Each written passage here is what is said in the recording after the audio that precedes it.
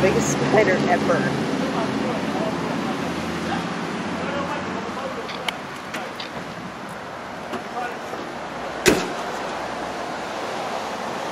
That thing is literally, how many inches across would you say, Lee?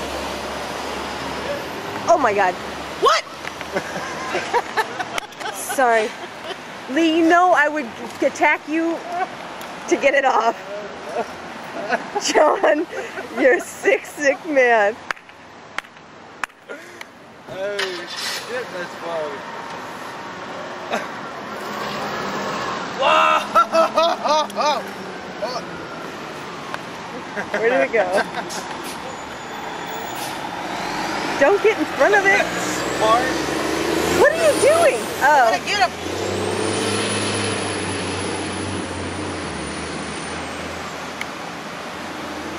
Unfortunately, you can't see how. Don't. It's moving. That thing's crazy. Dude, that's like the Brady's.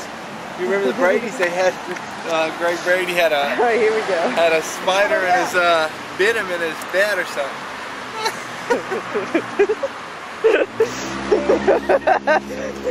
John, tell us about finding the spider. I don't know. It was funny. opened the door. Opened the door and I saw a spider in the door. And then uh, How big? Show on your fingers how big this thing is. I would say it's probably that big. Oh my god. That's. It's not that big. Yeah. But uh, yeah, it was in the door, and I saw it out of the corner of my eye. I told, I, I alerted the authorities, and uh, Uh, they all ran. And who was stuck in the back of a convertible with two doors? But yeah, Yes. after we all left, she was still stuck in the back. But it took us a while. The cameraman from the local news had a spotlight out for us. Pet it, John. I would, if I knew it wasn't poisonous. That's crazy. it's a little itchy. Look at the car. oh yeah, let's look at the car. The hood was up, all the doors were open, the trunk was open. the, everything was open because it went from the door to the wheel well and into the engine.